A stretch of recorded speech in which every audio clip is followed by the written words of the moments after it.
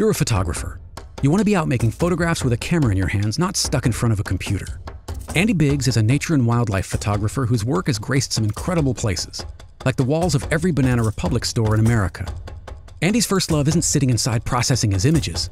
It's being outside, either at home or around the globe, experiencing and photographing the world.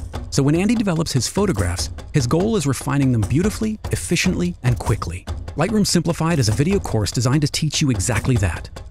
In 12 episodes, this three hour video course will teach you how to use Adobe Lightroom simply and powerfully to polish your images, with full workflows for both color and black and white so you can get back to doing what you love making photographs.